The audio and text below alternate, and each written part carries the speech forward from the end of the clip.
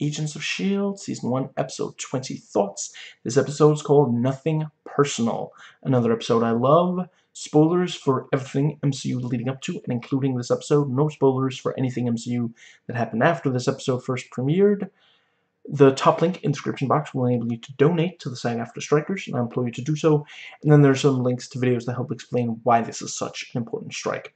So, let's dive in. So, yeah, we open on Maria Hill. Always great to see Cobie Smulders as Maria Hill. And,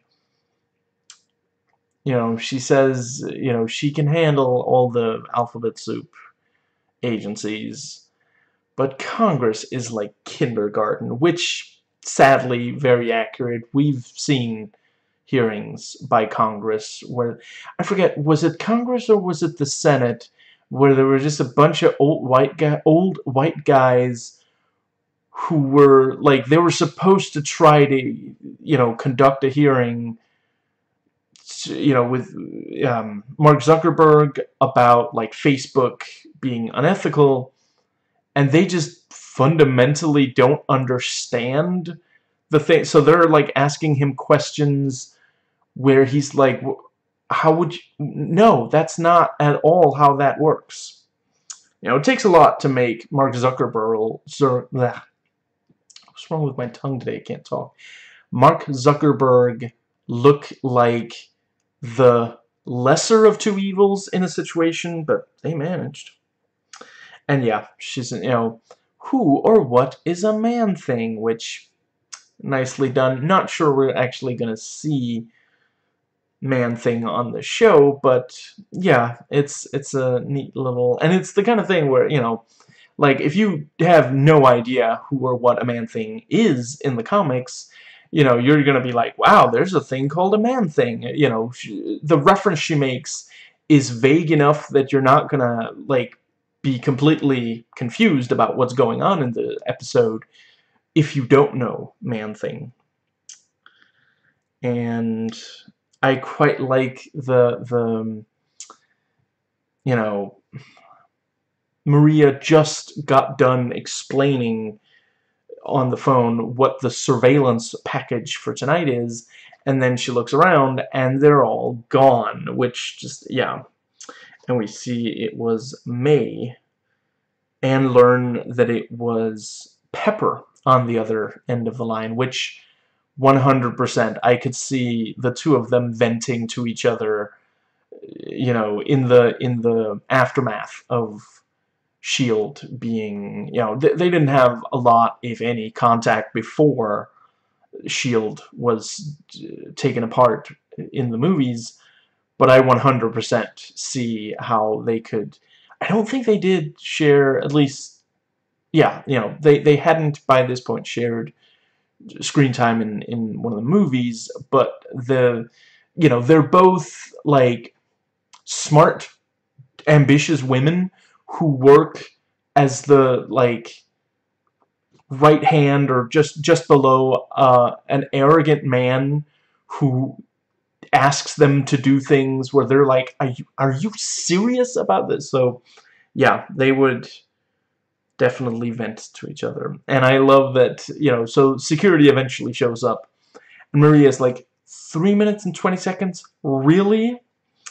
Uh, you know, you, you took way too long. She's not like, ugh, caught, you know, just... And I appreciate, uh, you know, if you don't count the, the previously on, 3 minutes and 20 seconds was about the running time of the episode up to that point. So, yeah, I see what you did there, and if I had a hat, it would come off for it. And, yeah, we see the team trying to figure out what happened, and Simmons suggests pancakes. Not for what happened, but what should happen. And she finds Koenig, which, yeah, was it necessary for them to have two young women who are not used to seeing death find that like because I I just want to point out in the in the bunker at this point there are three men two of whom are completely comfortable with seeing dead bodies so it could have been it didn't have to be Simmons. I feel like someone writing for this show likes scaring female characters. And yeah, and we you know Fitz finds a message that Skye left that tells that you know that Ward is is Hydra, which very clever, very very nicely done. You know, yeah, just like Skye. You know, of course she doesn't leave with Ward without leaving the message. And yeah, you know, sooner or later someone was going to realize, oh wait, the the windows windows are supposed to be synced up here's one that's daytime, here's, here's one that's nighttime. That's weird. And Ward catches Skye looking for bullets and does find the, the gun on her and, you know, she's, you know, she makes it seem like, what, I'm not going to use it on you, it's just for protection, you know, everyone's out to get us right now. And yeah, Fitz refuses to believe Ward is Hydra and gets, you know, again blows up at Triplett. And yeah, Simmons confirms, you know, which which is very realistic that that you know based on the you know an uh, uh, autopsy of uh, Koenig's body, yeah, you would be able to tell the height and the the like physical strength of the assailant, yeah, there's no way that's Skye. Skye is roughly Koenig's height, and certainly isn't strong enough. You know, I'm not making some kind of misogynist statement about female strength, but, you know, there are some women who could lift Patton Oswalt some he might even seek out and pay for that experience. But Chloe Bennet is not one of those women. Let's see. Yeah, and yeah, Skye says, you know, it'll it'll take one hour, and you know, I guess we're having dessert then. I should have knocked on wood just then. and yeah, in in the cafe, Ward explains to Skye how he can tell that she's nervous. And I believe what he's saying, you know, there's a lot of times where, which I'm not sure we were as aware, but, you know, more recently it's it's been, you know, yeah, people on the right don't accept it, but, you know, they don't really accept reality anymore. That ship has 100% left the, the station. Um, but, you know, we on the left today acknowledge that body language analysis, a lot of it is just bull. But what Ward says here, you know, you're sitting stock still because you're worried you're going to fidget, and you're maintaining eye contact to try to come across as confident, that sounds very credible to me, you know, and it's also taking, very much taking the circumstances into account, which is sometimes a problem with body language analysis. They're just looking at something that they don't know the full context of and saying, oh, well, you know, clearly this and this. Very cool to see Talbot again. And Maria was the one who led him to the bunker, and yeah, you know, when she explains it, we do understand her reasoning.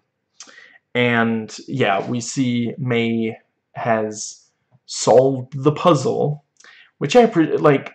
It's a it's worthy of one of the better like point and click adventure, you know, or at least yeah, adventure puzzle games.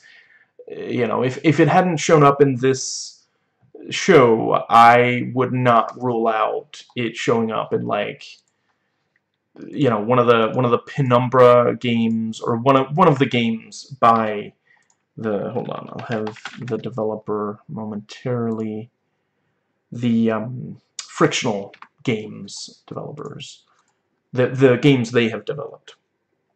You know I buried that when you know, yeah, Fury said, I buried that information when I didn't bury Coulson, aka the grave that does not have Coulson's body, but does have the tombstone saying Coulson, that's where you'll find the information. Very nicely done. And it's also the kind of thing where, like, you still need to know where Coulson is even buried for that, you know, yeah, in order to find. And I can imagine there's, yeah, yeah, and you wouldn't get the information without talking to for example, Maria Hill. It wasn't like public information or anything. And yeah, Maria Hill explains the plan to Phil, and they fight their way out. Very cool, very exciting. And yeah, so Skye talking to Ward says, you know, she she's saying, you know, would you like to say to Garrett and then she says to Ward what she wants to say to Ward. You know, you're a you're a traitor. You're you're you know just yeah. And then we see you know Skye tipped off the the cops and because the episode isn't over yet, of course that's not quite gonna go as she had hoped. I also like the you know I I you know yeah earlier in the episode than this scene, the you know we see her, you know, like alt tab to a window that says wrong location. You know, you you can't unlock the hard drive at this location.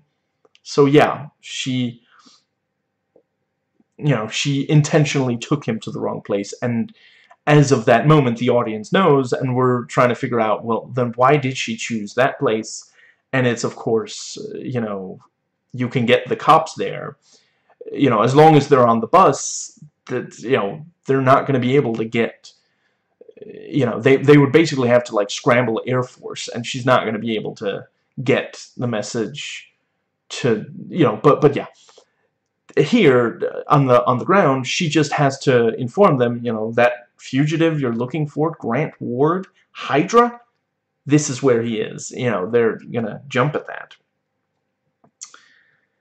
and yeah, very very cool. You know, she she's trying to get away. You know, he says don't run, and she says, "Oh, drive instead. Better idea. Thank you, Ward." Gets in the car, you know, starts to drive away, and then Mike like lifts off, you know, takes off, lands on the car, and gets her. Right after Ward gets out the words, "I'm not going to hurt you," which yeah, you know, that was he knew, and we, the audience, knew because we heard Garrett tell him there's a worse alternative. You know, Ward wasn't looking to hurt Skye. He was going to try to get the information, to, to get her cooperation without hurting her. Although, you know, he thought that Mike would attack her, where, you know, Mike had been told by Ward, uh, uh, Grant, hurt Ward, don't hurt Skye. And, yeah, you know, Grant, Garrett, Garrett told Mike to follow Ward. And, yeah, Skye is absolutely furious with Ward you know, pointing out that he's a Nazi, and he says no. Even though, you know, she, she you know, she says, you know, founder of Hydra, Red Skull, big frickin' Nazi. I don't think that's an exact quote. I think she might have added a little Skye twist to, to the, the wording of the manual. But yeah, you know, he, he denies it, which neo-Nazis do you know, be believe their actions. Don't if if a neo-Nazi shows that he's a neo-Nazi through his actions, but denies it through his words, believe his actions. And you know, we, we have to keep in mind, uh, Nazism is built on lying until they get power. Hitler told very few truths to the public, you know, when he was just trying to get their support. And he did lie after getting power as well, but yeah, you know, let's see, yeah, and the the let's see, that brings us to yeah, we you know Mike, you know basically you know says he's given up. He's he's not going to be able to. You know, he is no longer the person he was, no matter how much Skye tries to appeal to him. And then instead of attacking Skye, he attacks Ward using that, like a, a, technological version of that Xena move where she would, like, chop your throat to stop your breathing, which, yeah, I, I approve. I, I see you. I see what you did there. And I, I very much, yeah, very nicely done. Let's see. And yeah, so Ward and Maria over the radio, you know, confront each other. And yeah, Maria says, you know, I, I never liked you from when I first met you, which is true that we saw that in the pilot. But she didn't know how bad he was. And then he, you know, insults her saying, you know, the the if Fury was gonna just make a piece of eye candy his second in command, you know, he could have at least picked Romanoff. And she's like, that's funny. I'll tell Romanoff, you know, I'll tell her you said that. Which, yeah, that is the, I can 100% see, yeah, her chuckling at at that, you know, and it, it's reminiscent of, you know, in in the in the first Avengers, you know, they they um, she's interrogating the general whilst the general thinks he's interrogating her. You know, this idiot is giving up everything, you know, and at one point he says something like, yeah, he, he calls her pretty and makes a, a, very clear implied threat. And then she says, really? You think I'm pretty? So you know, that is the kind of thing that she, that fits her sense of humor. And, yeah, you know, I appreciate that the, it's the, it's a villain character talking about the, the, these two female S.H.I.E.L.D. agents as if they're nothing but eye candy, sending the message to the audience that that's a scummy thing to do. That's a, yeah. Let's see. And yeah, we learned that, you know, Maria never thought that Ward was actually going to stand down. She was just buying time so Phil could get on the bus. And I, it, it's very fun when, you know, he's like, you know, don't worry, I can take Ward. And, and she's like, yeah, well, what about Deathlok? Deathlok's on this plane? New, new plan, run which is a, a, legitimately clever subversion because so often these kind of infiltrations like the hero the heroic character is just gonna like easily take out everyone even if it's not completely easy they're certainly gonna manage but here you know it becomes a rescue operation instead of taking over the bus and and they actually do like the the they do the buckle up joke, which I love the first Universal Soldier movie too. So yeah, very nicely. I, I really need I need to buy multiple hats so that I can take each of them off at different points in because I'm I'm loving all these references. And yeah, they do manage to land. They do the thing, the the American movie trope where the car won't work. Oh, it worked just in time, you know, kind of thing. 20 bucks for special parking, and, you know, Phil just, like, reaches for his wallet and goes, that's, yeah, pretty funny. And I love, you know, earlier in the episode, Ward told Skye this isn't personal, and she points out how, you know, just, yeah, this is just completely ridiculous.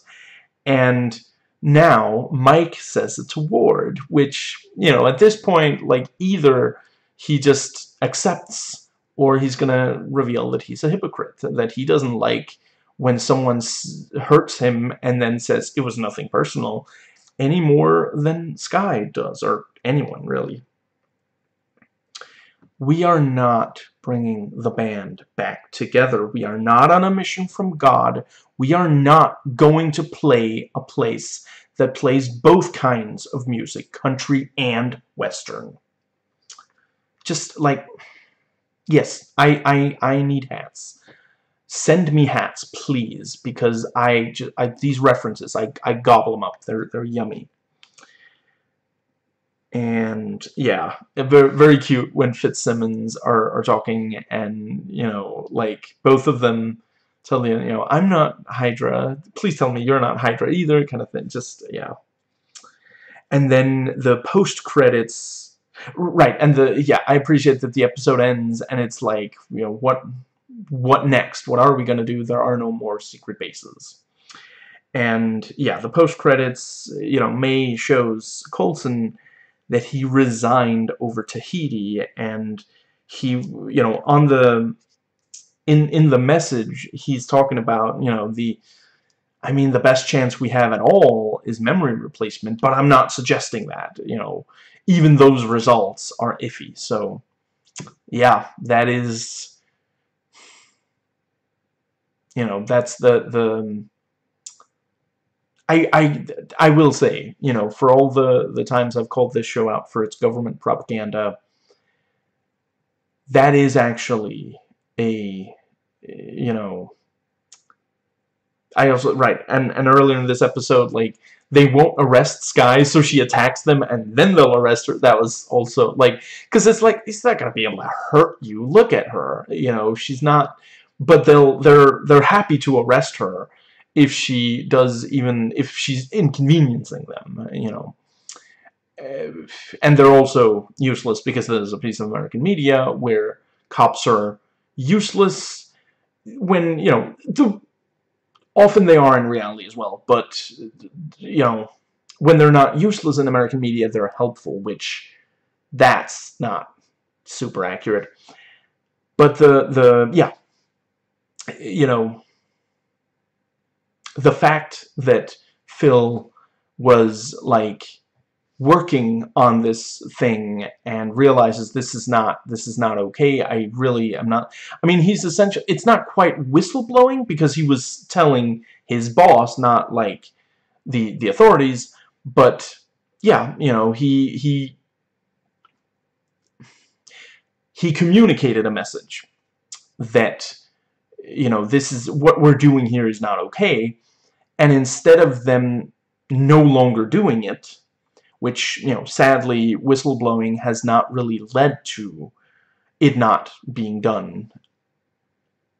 Yeah, instead he was subjected to this awful thing, and he's a character that we sympathize with, you know, so, yeah, um, I quite approve of that, and that I believe is it for the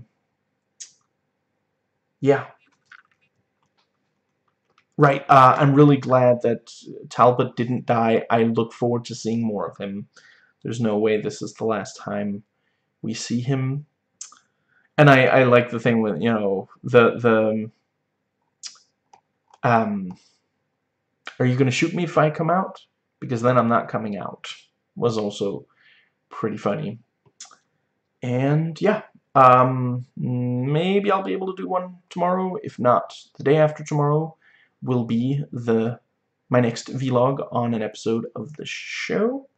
Very excited to see. So there's like there's two episodes left of this season. Yeah, excited to see how they finish off the yeah.